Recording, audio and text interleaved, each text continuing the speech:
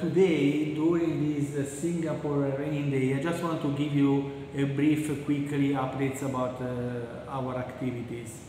Um, if you're one of the 2,400 followers uh, on LinkedIn, which I think is good because we are coming from uh, a boring engineering uh, environment, um, you can see, you know that uh, I stress a lot on sales and marketing uh, for the B2B. So this is my topic.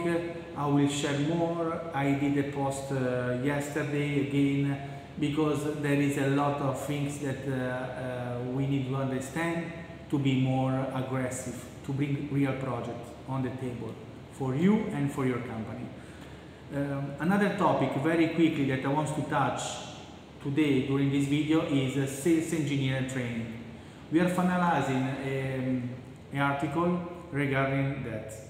Um, I think when you're talking about the training is not uh, only a personal point of view, so that's why I was not confident to share only what I think uh, about uh, sales engineering training, but uh, I manage uh, to collect feedback from uh, top level manager, managing director, CEO in around the, the region to share what they think about sales engineer training and some advice, some tips. So we can have a views uh, coming from expert coming from pharma sector, from food and from beverage, where basically we are targeting.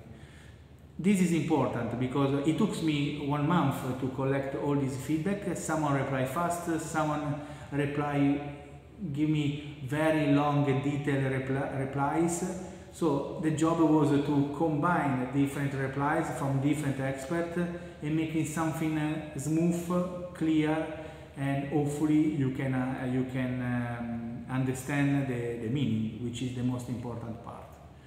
Uh, thank you very much, and uh, I hope you you will enjoy. And if you have some topics that you would like to discuss, please uh, let us know. Let me know. You can contact me personally directly, and we can uh, we can uh, understand how to to prepare this topic, how to share this topic that could be only if it's useful for sales, engineering, industrial people.